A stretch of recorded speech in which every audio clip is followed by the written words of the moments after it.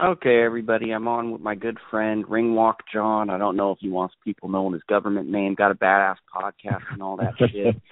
Um, how are you doing? I'm good, man. It's Jonathan Weir. It's the name that's on the uh, social media, you know. But uh, yeah, a lot of people will just say, "Hey, Ringwalk," so that works well too. You know, either way, as long as you're calling me, I'm a happy man.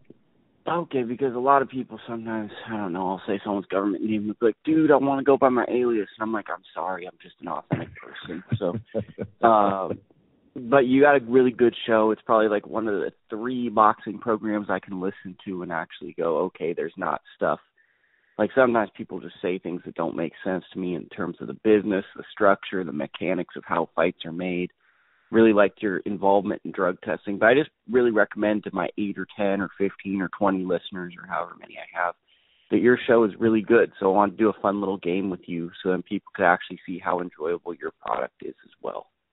I I appreciate that. Now, understand too. I, you know, you're you're doing this live with me, and I'll do that with the guests that I have on. I do not usually go into lists, and you know that because you listen to the show. But it is speculative. But you know, I figured even though I don't usually do lists, it could be something fun, a little bit challenging, you know, and uh lets people in at least on my thought processes, you know, in regards to the fight game, et cetera. So I'm interested to do it, Luke, I'm here to help. Yeah, it's like real 2010 Bleacher Report. We're trying to build a dot com and sell it for big money. So that's that's the premise of this. is that the plan here? that is this. So we're doing the top 10 emerging fighters without a belt. I wanted to kind of use the word young, but there's a couple of fighters I guess that are kind of not young. I'm going to start it off right now at, or should I do my honorable? I guess we'll do the honorable mentions at the end, or do you want to do the honorable mentions now? Because I have a lot of honorable. You mentions. know, to be honest, when I put together the list, uh, one, uh, I'm probably going to leave off a lot of people's, you know, their likes and dislikes. I took the approach of uh, just you want to know? I don't even know if I have them officially listed one to ten, but I did put down just off the top of my head guys that I either think are going to be fantastic and belt holders in and of themselves, or guys that are definitely on my watch list. You know, um, there's there's big name prospects that I know that I've left off here, and there's going to be some guys that are like, really, this guy's in your top ten. But for me, uh, just as much as you know the talent that they display now uh, versus where they're rated now, there might be guys that are listed a little bit higher. Uh, but I just personally, there's something that I catch, or there's something so explosive that I think that if they can key on this one aspect, they could end up being you know really high up there. So it's it's kind of a motley crew list for me. So if we're going, you know, fighter for fighter, I might not have it ranked the exact same way, uh, you know, or officially, uh, or I, there might be some guys that are you know off the beaten path. But this was just my thought processes on my cell phone while the kids are you know doing their schoolwork upstairs, you know, type of thing. So don't hold me uh, too much judgment in this list. Okay? No, there's no judgment. It's this is more like uh, like before you called me, I was on BoxRec kind of uh, looking for emerging prospects just to interview, just to get just to see if my eye for talent is right. So this is more sure. just a fun game to see how we yeah, assess yeah. fighters, and I'm sure we're going to have really good fighters. Both my number ten guy, Edgar Berlanga of Top Rank, all mm-hmm. first round knockouts, big power, trained by Dre Rozier, good staff, uh, great backing. Terror Squad, Fat Joe walks him to the ring. I think this is gonna. He got in the news for the Canelo comment, but um I think he's going to be one of these guys. I don't know how far he's going to be one of these guys, but for sure a world champion, for sure a guy that's going to be a player in the division. It just depends on of if there is someone that's ever going to be able to take his punch, which in the amateurs he ran into that person, but the fact that he's got 13 KOs all by first round knockout. Um his last opponent Cesar Nunez 16-1 and 1. Pretty impressive. So he's number 10 on my list. Yeah, and that's a good uh, a good name to start off with. Uh, he's got a lot of moxie, that's for damn sure. You know, he finally got a taste of Madison Square Garden. The knockout still came, you know, with his first step up there with Nunez, and uh, I think that it's kind of setting in on the quote unquote chosen one. You know, he's he's kind of he's he's now calling out Canelo, and he's got a little bit of swag, but you want that, you know, sometimes in these younger fighters. I'm going to go way off the beaten path. Um, he's he's 20, he just turned 26, okay, but uh, I really like him, and I like his story, and I think that uh, he's he's there's there's another fighter. There's another two fighters in this weight class, but I really like O'Shaquie Foster. Uh, O'Shaquie okay. just turned 26. So when we talked about this, you know, I was like, damn it, is O'Shaquie still there? He doesn't get a lot of the pub that other guys do, but he's also had a hard life. Uh, and you talk about somebody that's come through mean streets and has dealt with some really bad shit and hasn't gotten the chance to, after, you know, doing some fights on ShoBox and kind of starting to build himself out, he has a couple of losses. And so when you look at that, you go, oh, most of the time when you have somebody that's coming up, you go, he's got a couple of losses? Oh, well, he had those way back then in 2016 and he took off about he only had one fight in between 16 and 18 and admittedly he was getting in some really bad crowds. He's redeveloped himself redevoted himself to the fight game. Uh he had one of the knockouts of the year last year uh against Jesus Bravo. He is going to be a lot of fun and there's a lot of guys that when you talk to promoters and stuff they won't give him a shot. He is he is that type of talented, um, and if he can latch on with somebody and somebody really picks him up and starts pressing him like they could, I think you're going to see some really big things from O'Shaquie Foster. Just that's my outside, you know, that was my fringe right there on the top ten what, for me. That uh, to me, my feeling is he's going to be the Jojo one of Jojo Diaz's opponents in the next year. So sure, yeah, so yeah, I mean, I I love guys like Osha, Oshiki Foster. Other than I always mess his name up. He's like the guy mm-hmm. that you, as a, I hate to say this, a deep side boxing nerd guy that's watching um Matthew mm-hmm. Saad Muhammad at night and all these guys. Those guys took losses yeah. and still were really good fighters. And yeah, it sometimes guys have to lose to be tough, and that kid is the kid oh, yeah. you don't want a 22 year old kid that doesn't know what life is, that thinks he's super cool. You don't want to run into the 26 year old guy that's already been made a man at 23 and now is really yeah. having to work harder than everyone else. So I respect that pick. Yeah, like I said, a little bit off the beaten path. I, I, you know, I've got some sentimentality in some of these because you know some of these guys are the ones that you know, a year or two ago, I started watching, having on the show, talking to them, you know, off the record, and you know, I I just believe in them. So it's there's a little bit of bias in that too. Yeah, that's fine. Bias never bothers me. Uh, other people find bias wrong, but I think that people that get involved and know things about fighters, they're actually doing what you're supposed to do, learning about boxing, as opposed to people who are like, don't ever talk to boxers, and it's like their opinions are so terrible use a jab and the guy's taller than the guy. It's like you got to triple a jab. You can't just throw a single jab if the guy's longer. Just dumb stuff. But next, my next one is Shon Ergashev. He's training out of the Kronk. Um, Uzbekistan guy, 18 and 0, 16 knockouts. He's with Mark Taffet. He got a win over Mike Foster, who I'm super super high on. Kind of a close, awkward fight. He beat Sonny Fredrickson to me, this feels like when uh, Josh Taylor, Ramirez, and all those guys leave, uh, Ergashev mm-hmm. is going to be one of the guys when Teofimo and Ryan Garcia and Haney are all in 140, which is coming. I feel like Ergashev is going to be like the the underground. Oh, he's got to fight this guy, kind of maybe like a Joe Calzaghe or something. Like, oh, you got, mm-hmm. but he's going to be here in America. So I'm taking Ergashev at nine. Really good fighter. Um, not sure really what his ceiling is, but like I see him good. A lot of power, really aggressive. Got a million Instagram followers. At the Kronk gym, he's going to be wearing the yellow. He, I believe. Let me see. Is he a southpaw? I feel he fight. My impression is he fight. Yeah, he's southpaw. From what I remembered, power southpaw Kronk gym.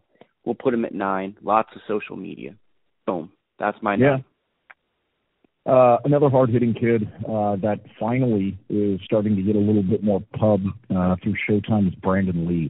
He has not had the type of opponents uh, as, as far as competition that one would like to see when I'm putting him up on like this one, one of these rising star lists.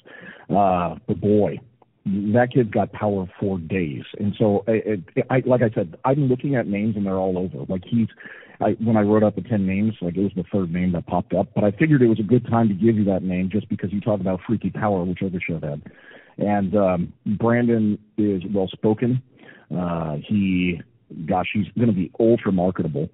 And every single time that he comes in, it's lights out. You know that it's going to be a knockout. The guy has got phenomenal skills. He just hasn't really had the chance to show it up against top competition.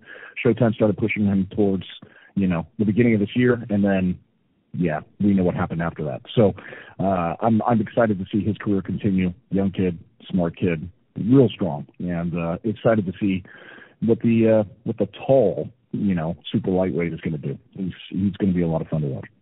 And he's from, and honestly, him versus Ergashev is going to be the fight. That's going to be like the graduation fight. That's yeah, going to be, be. They're both ShoBox fighters. They're yeah, both they smaller promoters. I mean, between I feel like Brian Ceballo versus Boots Ennis and Ergashev. Just one of the other names. Brandon. My, yeah, oh, which is one of my other names on the list is Ceballo. Uh, he had a few fantastic fights last year. Uh, came onto the scene early um, on the zone. What was it? End of 2018. And uh, yeah, then and I saw him. He was on he was on my show a couple of times, and he's got some real skill. I mean, I talked to a couple of guys that said, watch him. You know, a lot of times Ceballo's name gets passed over. I'm glad that you said it uh, he's got he's phenomenal talent, and I really like him. He's one of the other names on the list. I, I, I guess I just like that that class right now too. A lot of skill, a lot of good guys coming up there. Yeah. Um. So one last thing about Brandon Lee's from where I Yeah. went to elementary school, Yuba City, California. So shout out to that. Yeah, he could. Yeah. So Well, see, I knew I was going to be on your show, and so I wanted to put in a little bit of local flavor. yeah. Well, I don't live there anymore, but that would have been a hell of a deep dive if you knew that info. My number eight guy is probably I'm the only person really riding for this guy because it's super confusing. Gary Antuanne Russell, uh 2016 Olympic medalist. He's pretty much a southpaw version of Gar- uh Vergil Ortiz, but he's just not getting big fights, so no one really is caring. But What do you think that well, I think that it's inactivity, super confusing because of like there's three Gary Russells currently, and I think that Gary Antuanne Russell, the super lightweight southpaw, is probably the most promising. Gary's probably Gary's Junior is his coach, and then so like his last fight, he beat Sure. this guy Jose Marufo, who fought my friend Willie Shaw. The first fight was a uh, Marufo beat Willie Shaw because the guy comes into camps to emulate um Granados. So pretty much all the pro camps bring in Jose Marufo because the kid throws a lot of punches. So Willie didn't throw enough punches. Guy gets a close decision. Willie beats him.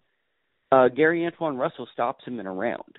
So that just shows Yeah, you from the club level to um the elite level, that's how he is. To me, he's a lot like Errol Spence, only he's more patient, uses a jab, and it's like he's a real killer. But why I brought up that Marufo fight wasn't even to stay all that information. For that fight, he was the first fight of the night because Gary Jr., who coaches him, was the main event. So there's often situations where he has to fight earlier in the night because he's on a card with his brother who coaches him. Hmm. So Yeah. I just I feel like Gary and Gary Antuanne Russell has two wins over Boots Ennis, who's higher on my list. I mean, this is a guy who Yeah. he really to me could be a superstar in boxing, but there's no. He, I'll tell you the perfect guy he reminds me of. He reminds me of Michael Hunter because I've known Michael Hunter for a long time, and I've always felt like Michael Hunter could really do something. And it really hasn't been mm-hmm. until this year that there's been any momentum with his career. And Gary Antuanne Russell feels like this really, really good guy. Like there's no the only difference between him and Berlanga is Berlanga's doing every knockout in the first round, but he's 13 and 0, 13 KOs, and he's not. He's a three-star BoxRec fighter. I mean, this isn't like, you know, no, I mean? yeah, I hear you. And he, it's not like he's Russell's been knocking guys out pretty damn quick himself. So uh, he, it was a great name that wouldn't have come to the top of my head, but you're absolutely right. Um, yeah, I, it's probably because there's really too many Gary Russells on the brain. But yeah, that's a that's a good pick. I haven't even thought about that one. But I mean, that's why I Um, bring him up, just because it's like it's so easy to look past him. Because it's like Yeah, yeah. I hate to say 100%. from marketing, they should do Antuanne Russell. They should just take the Gary out. Yeah, I agree with you on that. Um, the youngest name that I'll have on here, and it's easy to go with a name like this, right? But uh, call me when you talk about a career, uh, you also have to look at like the realistics of that person being marketable. Um, marketability gets you big fights, and if you have enough talent in those big fights, you can have a great career. It's it's sad but true. I mean, there's guys with the skill set of like say Ryan Garcia, right? Uh, not maybe not as good, but he's propelled much quicker because of you know his looks, his social media skill set, what have you. Uh, I think that Xander Zayas is primed to put himself in a position where he can be, you know, he's he's going to be set up. First of all, he's from every single mouth out there. This was the guy that people were willing to throw millions of dollars at at 17 years old, if not younger, to get them on their roster for the future. Just you talk about a blue chip prospect in baseball, you know, the five tool guy, the one that you wouldn't trade a superstar for, you're keeping him because you know he's going to turn into something. That's what Top Rank has with Xander Zayas. And he's young. you haven't seen him fight a lot. Nobody has. He's, you know, obviously he just had his pro career.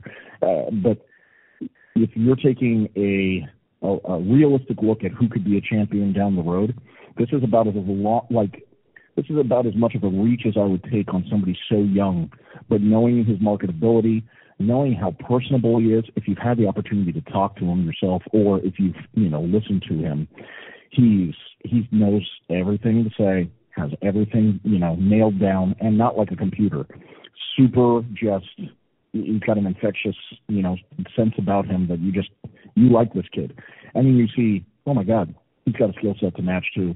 Uh, if I'm taking, if I'm putting together a roster, you know, of 10 fighters I'd like to invest in for the future, I'm investing early in the stock because uh, it's got all the makings and trappings of being something really fantastic.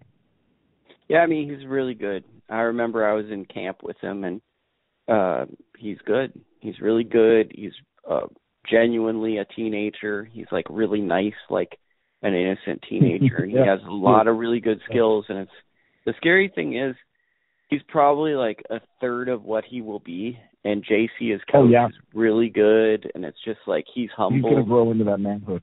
It's gonna be scary. But it, like when you, I watch him in the gym, not to like go into different stuff or say things. I mean, he's still he doesn't think like an adult. Like he's still kind of mm-hmm. using athletic, and this will harp into someone higher on my list. But he's using a lot of athleticism with skill but there's like a like he's having to work too hard what i noticed in the gym.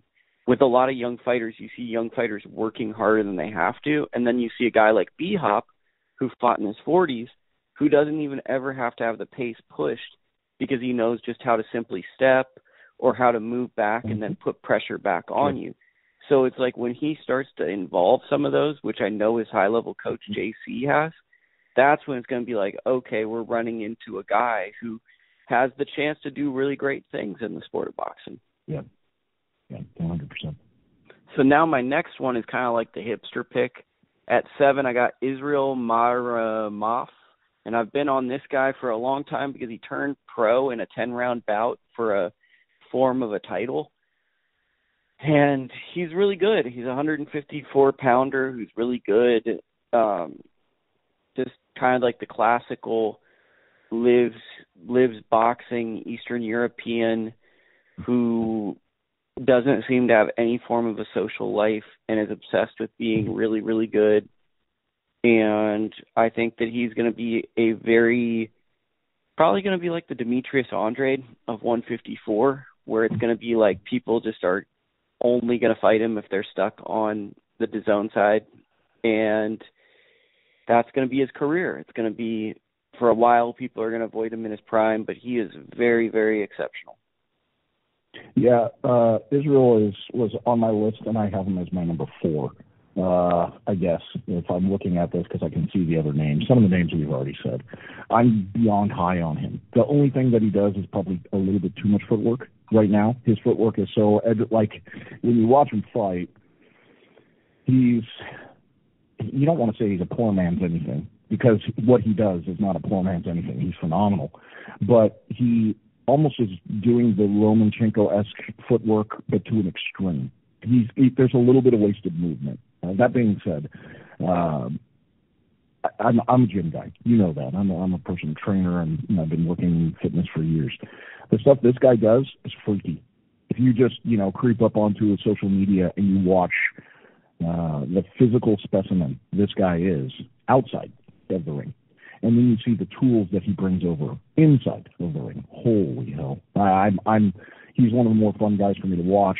Uh, you're right. There's going to be a lot of guys who do not want to touch him because he is going to be confusing, frustrating, much like so many of the fighters, you know, coming out of the Uzbek area. But uh, God, I, I I really am high on him. So uh, you and I are in a big agreement on on Madrimov. I think the reason that makes him so problem is he, the kid can box. He's like he's you're not going to be stronger than him. If you saw that push-up video he did, like that just doesn't. make That's what I was talking about. Yeah, or the barbell work he does with his forearm. It's ridiculous. Yeah, it's just like so you're not going to be stronger than him. You're not going to have probably a higher boxing IQ, and so far he doesn't have a bad chin. So it's like you just kind of have to go in with supreme confidence that you're going to wear on this guy or you've got some tactic. But man, that's a hell of a just a hell of a Yeah. equation because he turned pro. I believe his pro debut was against a guy who beat a former top ranked fighter, Daniel Valdivia, twice. That was his pro debut was against a guy who basically uh Vladimir what was that? Vladimir Hernandez. Hernandez. So he beat this guy that beat a guy who was signed to top rank, who was basically on his way to getting a big fight. And then this is who this guy chooses to to make his pro debut with, and I think he stopped him in like seven rounds. So in his first level, he was already higher than a signed top ranked prospect at one time, and that's Yeah. just that's that's your entry level into the sport. To me, that's pretty like okay, we got something. So yeah, he's really good. So number 6 for me is Well, that was both of us, you know. Okay. so you can go. Yeah, I'm just going number six, Little B Hop, Chris Colbert. Um, one of the best Yeah, jabs in boxing. So yeah, that's. I mean, he's just good. That's it. Like he's good. He's fast. He's going to be really hard to beat. he uh he did like obviously it's hard because when you have that much attention on you uh and you're coming up the way that you did and he had the you know the big you know freaking knockout last time uh before his last fight and everybody just got super high which happens you know after you do knock somebody out like he did. What that last fight that he was in um it, showed that you know while he's still got all the tools the difference when you step up in competition is there right? And you you can kind of see where okay we can be high on this guy. Just make sure that we're not pushing the cart too quick. And that does happen. You know you'll you'll get guys who are young. You know this guy's 23 and maybe you say you know what? Maybe now's the time. Maybe now's the time that we put him in there and you know throw everything after it. And in his last fight there were some things that go okay maybe we pump the brakes here. You know he's he can absolutely get caught. Uh there's times where he doesn't know uh when to push the gas versus when to let off and push the brakes but he's fun he's on my list too so i'll just go along with the same rating but uh yeah i i'm i'm i'm high on chris Yeah, I mean, to me, he's one of these guys. I believe Sosa's his coach. Sosa's going to be one of these emerging coaches that people will say, where did he come from? Because he's got like 10 great fighters that come out of nowhere. It's like, well, he's been in the amateurs, buddy. Like, he's been, um, he's, um, Yeah. he's been doing really, really, you know what I mean? So it's like, we got Colbert, we got all these guys. To me, it's the jab and the fact that his legs move with his jab. Um, he's got flaws, but the fact that he has one strong attribute most fighters don't have, and then a personality, I think he's pretty high. The only red Mhm. flag for me is that Netflix documentary where he was talking about I don't need to go to school, I'm going to be a millionaire boxing, and then he's kind of like having trouble in camp with Payano, I believe it was. And it was like, uh oh, if this kid gets two million dollars, he might be the classic doesn't train hard after that. sure sure So I didn't see that, so I can't, I won't speak uh, educatedly on it. Uh, I only know there's some guys you hear about there, you know, outside of the ring antics. But uh, as far as the skill set, man, you're right, and hopefully he doesn't have anything to derail that. Number five, I got Ruben Villa, multiple time national champion, signed with Thompson and Banner. Um, he's a really good southpaw. Like I think he's probably one of the three best amateur boxers I ever saw. and I think that he's right up there with any of these guys at the top of the list. It's just that the exposure fighting on ShoBox and fighting on Facebook, and I think he's unfairly getting labeled as a boxer, which nowadays that's an insult because people assume you can't punch if you box. But he accumulates a lot of punches on people and they wear the damage and then they make decisions not to engage. But Ruben Villa is number five for me. So who you got? He's well, he's out of is he also out of you? He's in Salinas. Is that where he's yeah, from? Salinas, California. Yeah. All right. I didn't know if you had a little bit of that, you know, hometown flair again. And uh, well, I've known him. I've known him since he was like 13, but I, I truly believe that he's one of the most talented that I've seen since. Sure. Uh, but I mean, I'll well, gladly take the hometown bias on that one for sure. No, yeah, for sure, for sure. So he wasn't necessarily, and I, again, I, I apologize because you know some of the guys that I had already said, you know, were either higher or lower on the list, and then I was matching you. So it's thrown off my numbers a tiny bit. Okay, um, but uh, one that is you know, more towards, I guess, the mid to bottom of that list for me is uh, Cool Boy Steph. Uh, I got a chance to, I covered the uh, Herb Williams fight last year, and I was, I was at, uh, I was there ringside, and he was like fourth or fifth down, you know, and this is, you know, year and some change, and uh, ago, and I watched him, and I'm like, guy, this guy has got such a jab. I mean, he pretty much won with one punch. He did the same thing against Khegai, uh, and he's not afraid to say it. But um, the with each opportunity that he's been given, he's shown what his skill set is. And you talk about the fun division where you can find out really quick how good you are. I mean, he's going to be.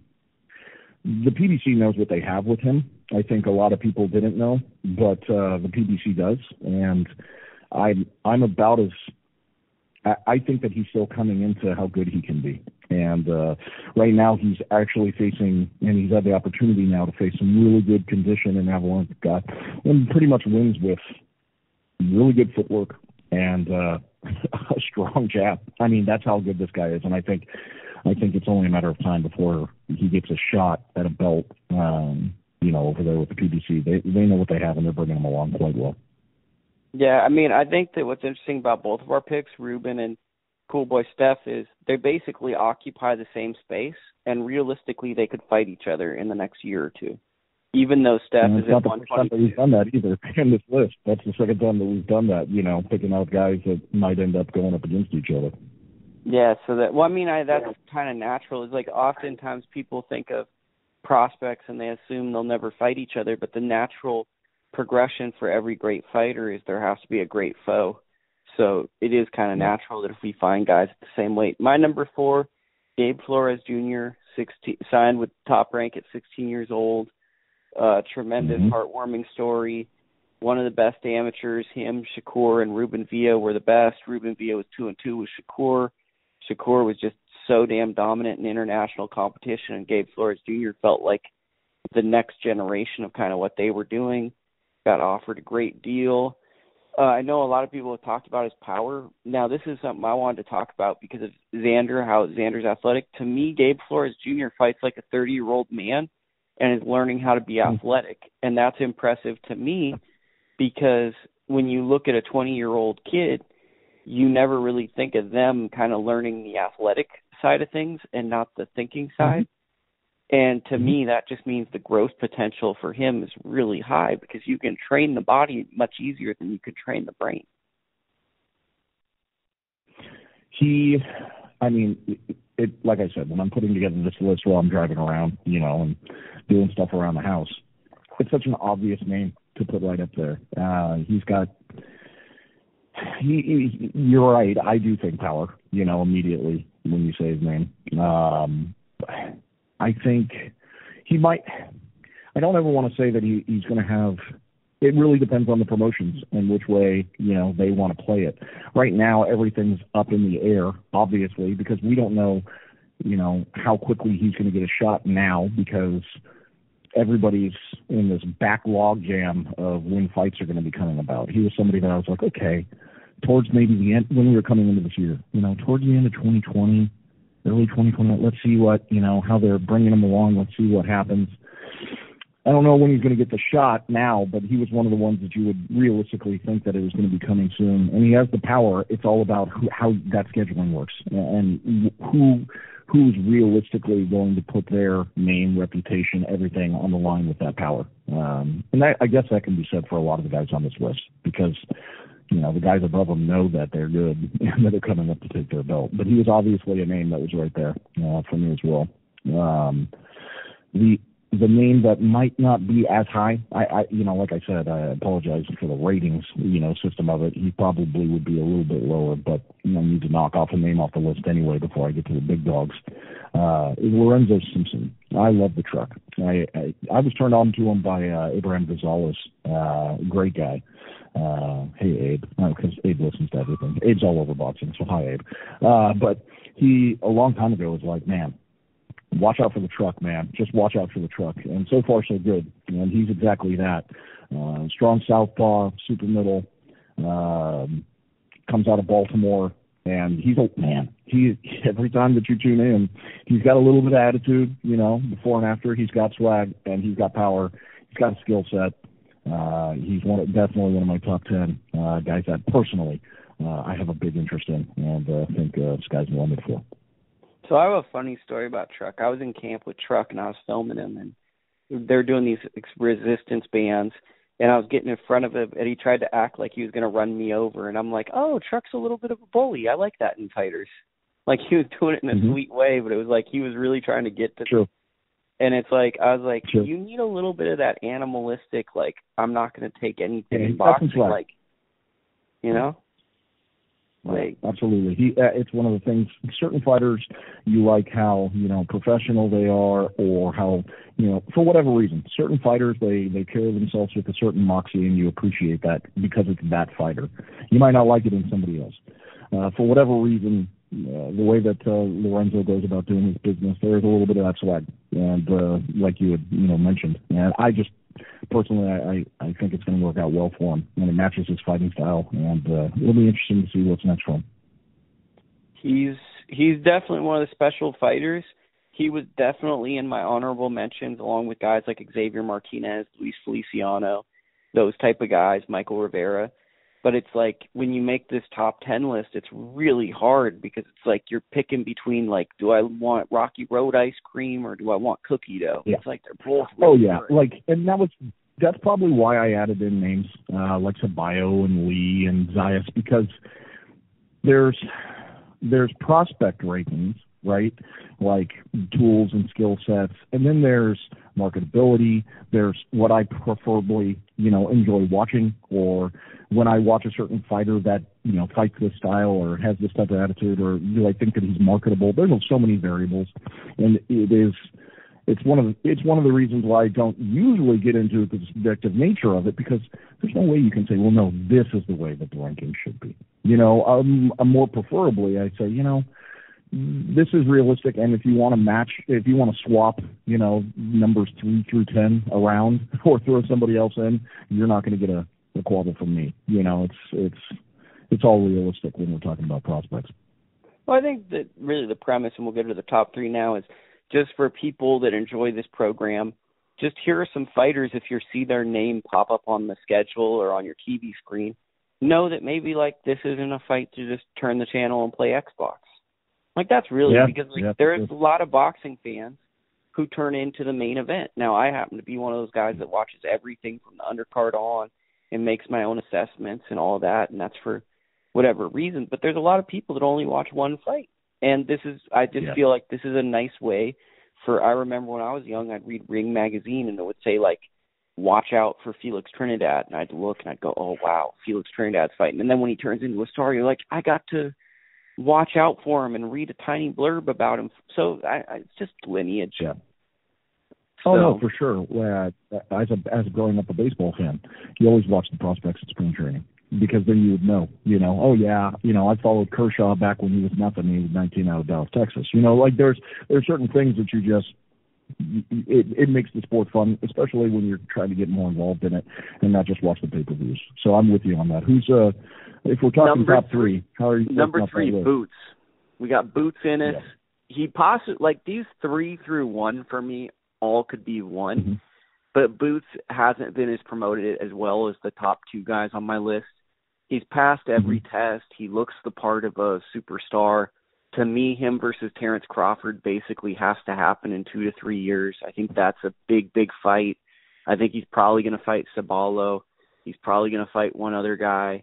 And I think he has the chance to be the guy that might dethrone or be in the mix with Crawford in a few years. So I really think a lot of Boots, but at the same time, Boots has to really understand, which I believe he does because he's from a family of boxing. With the praise he's getting right now, he still has to be hungry because he hasn't earned that Yeah. that world title. So my only fear is that Boots is starting to get a little too much praise, and I don't want him to lose focus because I think he has the chance to be a special fighter. Who do you got at three? Okay, so like you said, I'm I'm gonna just I don't want to switch it off and then have to talk about Boots Ennis again. Okay, Yeah. if we're talking about the eye test, you know what I mean? Uh, Mhm. Just on that, you look at his last fight against uh, Eyubov. That was the name of the guy.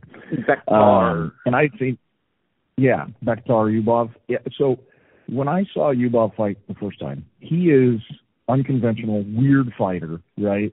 But he's a guy is a rock and sock and robot, and he's very hard to handle. You know, a lot of people. It was Ceballo, the, the aforementioned Ceballo had fight uh, had fought Eyubov, right? fought three minutes Um, before that. What, like a Yeah, very yeah, hard and fight. so- yeah. Yeah, and when you watch the absolute destruction that he does, it is hard not to sit there and go, "Holy shit, this kid's a superstar." I haven't gotten the chance to watch him. All of these problems about why isn't he not? Uh, why is in any other sense you would have seen this kid already. I mean, if if the right promotional agent has him, he might have a belt around his waist right now.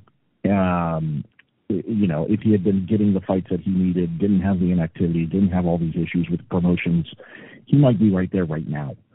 Um, and if you are, I mean, you know, my my podcast, I'm a gambler, right? There is few people that I am going to be laying money on against this kid right now, um, because as a physical specimen, uh, he's intimidating, and I think that whatever he might lack as far as experience, he's the type of guy that can athletically almost make up for it. He looks so damn good. I mean, sharp, crisp, puts you know multiple punches together. Uh, defensively, you know, I I think that he hasn't met his ceiling yet. I I'm about as high as can be. Uh, and you talk about being able to rotate three through one. I had him at uh, as far as guys that are going to get a belt or have the skill set or you know whatever the case. Maybe I had him at number one. And that there's nothing wrong with it because my reasoning for not putting him at one was simply political in the sense that he hasn't uh, not that I'm aware of, he hasn't filled up a bigger place yet. He hasn't had to carry Sure. himself Oh on yeah. his back. Yeah, yeah. He hasn't had to 100%. the Wednesday, Thursday, Friday. Sure, he probably does it for these ShoBox cards, but I'm saying he hasn't had to do where you've got 20 to 40 media members and you have to say no Mhm. to some people. Like that's when to me you become a star when it's like you don't get to do the small media outlet like you or me anymore. You have to do that in a group and then you do the mandatory um bigger Oh, yeah. media because now it's a job and it's not up to you. Those guys come on your time. When you clock in, you have to do the ones that are media partners. So I'm just kind of waiting for him to deal with the stress of those bigger shows. But when Billy Briscoe, one of one of the best boxing trainers in my opinion, Billy Briscoe, says this kid is special, I mean that to me says a lot because Billy's someone that I. I shut up and listen to. I'm with you. Um, if if we're saying number three, I'll tell you why I put this guy at number three, and I actually don't have him as number three. I really had a top two, and you're probably going to have the same. But when you had messaged me, you talked about guys that didn't have a belt, 25 and under, right? With the exception, maybe not 25, because you wanted to talk like Ergashev, and I said okay because I was going to throw in guys that I liked. that might be 26. But you want to talk about a guy who's got potential to make the most money, to come in on the heels of a crop in his division that are getting a little bit long in the tooth, and that has already demonstrated a skill set that he's right there for a belt. And God was about to face off with another prospect. Uh, I have to look at where boxing makes all of its money, uh, you know, theoretically, where it leads from the top down. The trickle down economy of boxing is from the heavyweights, and I mean, if you're looking at a 25 year old uh, that can, you know, under the premise that we were talking about is, you know, the best without a belt, you know, and that's got the, you know, best opportunity to get belts, et cetera. Talk about impact on boxing, everything like that. It's hard not to put a heavyweight like, you know, our boy up there at uh, the top three. I, I, for me, it's there's been a lot of prospects that have come into the heavyweight division, right? Uh, that don't look the part for me. Like I got really excited about like guys like Efe Ajagba. You know what I mean? I said, oh yeah, yeah he's that eye test, flip, man. whatever. And I was like, no, I don't. I'm not with those guys. But the one that has come out at 22 and been fantastic and done everything that he has to so far is Daniel Dubois. And I think for me, if I'm looking at the bet, like the guys that are going to be something that are under 25, can win a belt, that show me skill set, and is going to be coming in at the right time. Uh, he's going to get a chance to fight Joyce. I, I heavily favor him against Joe Joyce. He is, you know, he's he is primed to be something really fantastic and might be able to continue after like say uh the Tyson Fury, you know, age, the you know, Anthony Joshua age. It, it looks like the Europeans are going to be keeping, you know, heavyweight belts for a long time. That's my own personal take on things, and like I said, I'm going to put some stuff in here that maybe not a lot of people would go with. I really like Daniel Dubois' career arc right now at 22. I think he's primed to be one of the most successful financially, uh, get a championship belt, and uh, really take over a division for a while. What do you say about that one? That one's way out of the way out of left field. What do you think? I think it. I think that's a good pick. I think I'm typically a little U.S. biased just because it's easier for me to watch the fights. I think he definitely deserves to be on the top ten. I'll just be honest. Like I'm a little bit regional specific. I watch pretty much everything in U.S. Sure. boxing. This guy feels sure. like he has everything. Like I like Joe Joyce a lot. Joe Joyce was one of the nicest people I ever met when I was in Big Bear. He actually I won't say the story, but he had my back when there was an awkward situation in the gym, and I. Well, that's the guy that you want to have him back. oh well, Joe. But the thing about Joe Joyce is he's a weird guy in the sense, not weird like weird. hope I don't. I hope I'm gonna make it, but um, the weird thing about Joe is he's like a big teddy bear. He's like the sweetest guy I'd ever met. I almost felt bad when I when he was going to spar, and then I forgot he was a pro boxer. I'm like, oh, is he? Well, the problem is with Joe. Not that we're trying to derail, but the problem is, is he fights about as slow as a bear. Uh, you know, that's resting in hibernation, and I think Daniel's going to be a uh, way too much uh, for Joe Joyce. That's my, that's my own opinion on that. You okay over there, buddy?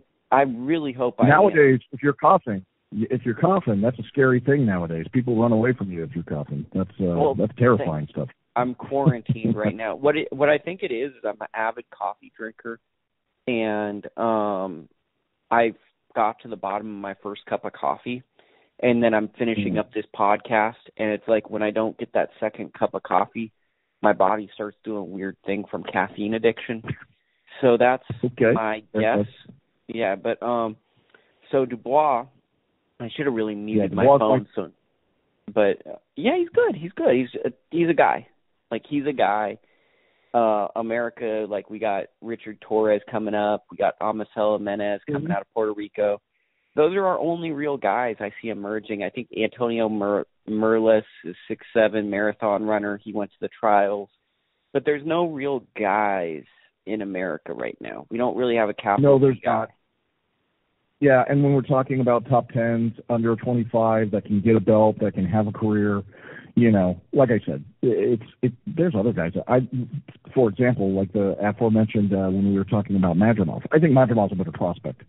But if we're talking about, uh, you know, a guy that's going to storm on, make fifty to a hundred million dollars, you know, on a contract signing, and is primed because he's going to be 22. He's going to finally start getting some good competition over there but it's still probably two to three years away. Maybe well at this point, the way things are going, from you know going up against a like of an Anthony Joshua and Tyson Fury will be done by then. He's he's going to have the time. He's going to be lined up perfectly, and uh, I think he's the sky is the limit for that guy, and uh, he's going to make a lot of money uh, in the kind of bellwether category uh, for boxing, which is the heavyweight. Can I share a not so funny story that I'm going to refer to as funny, and then it'll just be like, it's your oh, show, buddy. Whatever. Well, okay, but I was trying to be real, real hospitable. So, um, what's it called? Uh, the guy. So I grew up skateboarding, and there was a guy that skateboarded with me, and his name was Daniel Dubois. And it's that kind of messes with me. I know that shouldn't mess with you. Like you should be professional enough. It's not bad. But it's kind of weird that like a five foot four skateboarder that was professional that I skateboarded with as a kid, and then he went on to do things. Kind of weird that a big black guy that's a knockout artist that's a heavyweight has the same name as him, and that also Sure. kind of affects me. And I know that's like there's nothing that he can do about it, but it's like my own bias is like I'm like it's kind of like when a guy gets drafted into the NFL or the NBA. I look at their name and I think, is that a superstar's name? Like Zion Williamson, you're like, that's a superstar. That's a superstar name. yeah, that can when, happen. then when you get like Ben Simmons or Joel Embiid, I'm like, I don't know if that's the super. And now I'm not saying there are superstars that emerge from that. Even uh, another one would be like Pat Mahomes, right? Ah, it's a kind of a tricky name. He beat the name test. But for me, right or wrong, I have a name test. If it doesn't roll off the tongue, it's like a strike against you. And I know that doesn't sound fair, but I'm just being me. Hey, that's you. Fair enough, man. And like I said, it's your show. You can you can hate a guy if you want to. I mean, No, you're not going to get any flack from me. You have your right.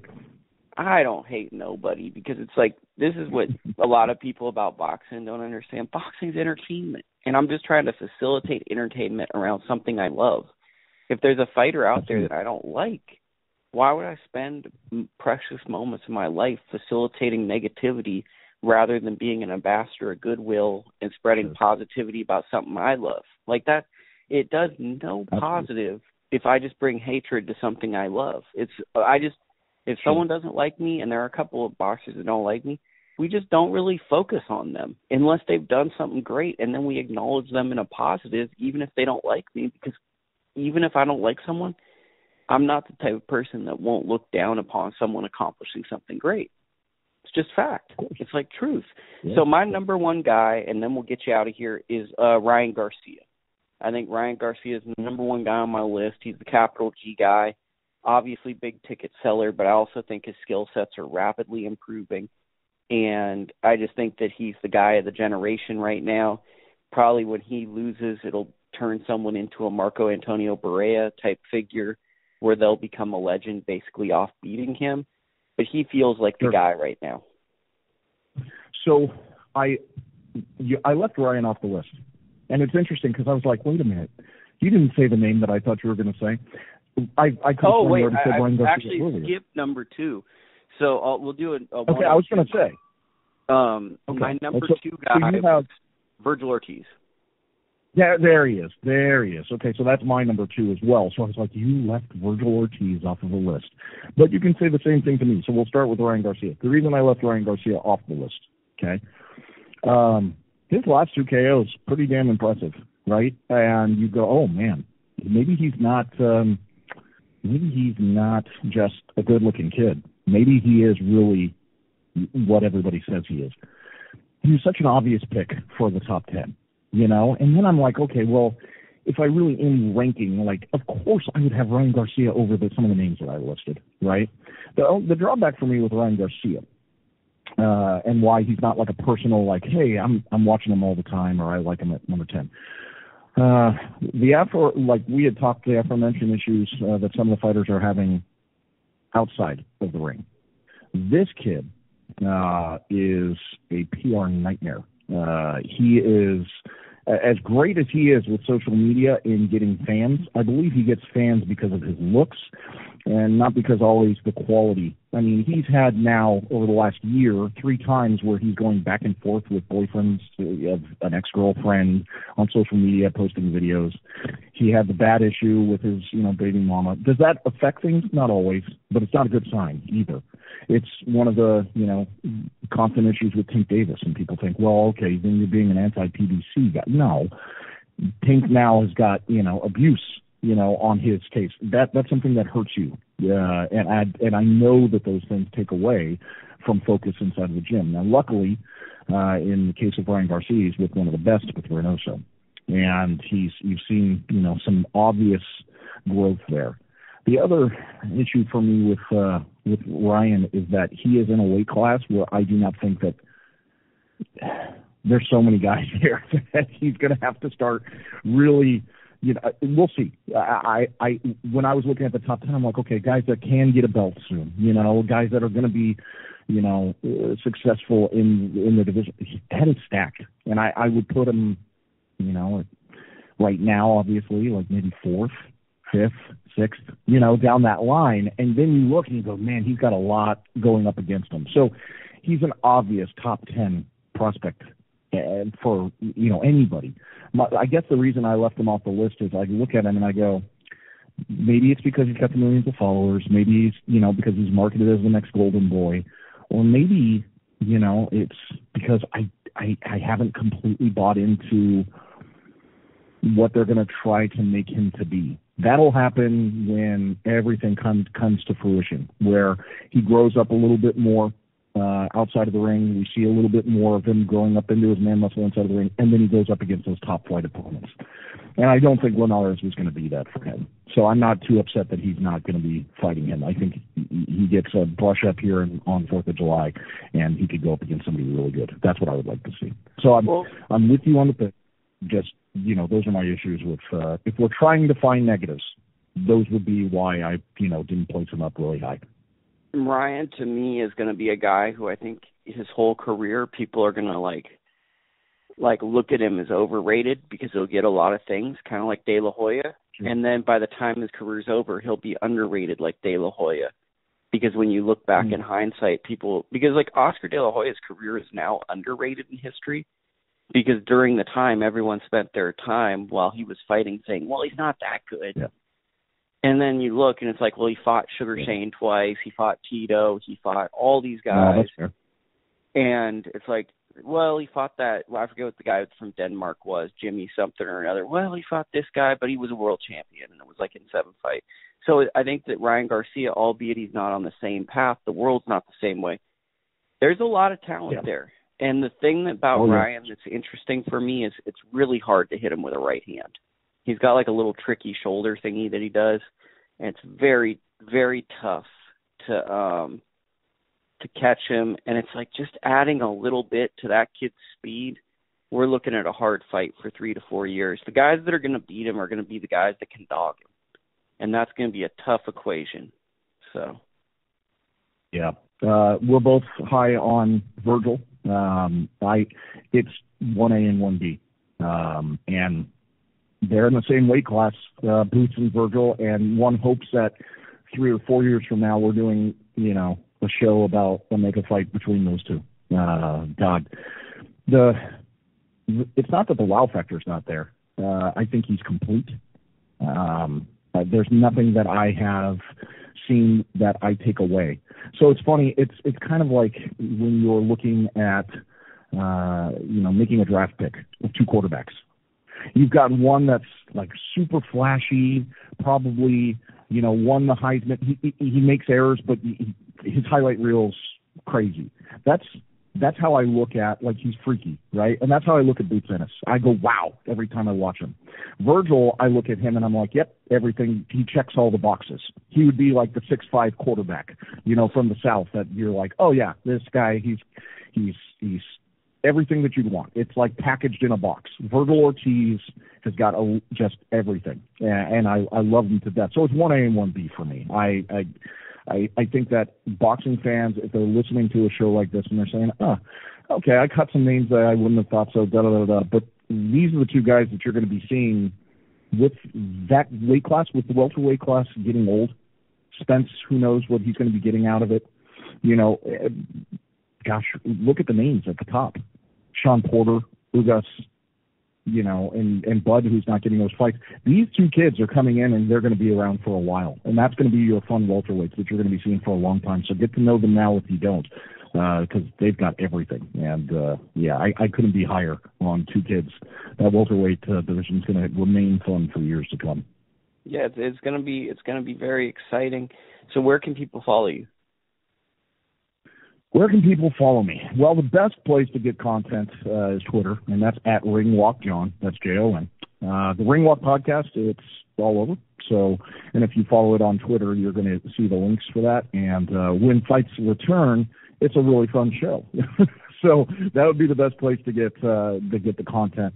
Uh, but you know, just like yourself, probably we're we're finding ways to stay uh, engaged with our listeners and you know the people that uh, are wanting boxing content. There's only so much we can create, but when the time comes, I do love to handicap boxing too. That's uh, that's probably why half of the people listen to the show is to try to make some money, and so we do a lot of that too. So it's at Ringwalk Jon, and uh, yeah, I I really appreciate being able to come on, Lukie, and uh, give you my mock top two plus another eight, you know, list, and uh, it was fun, man.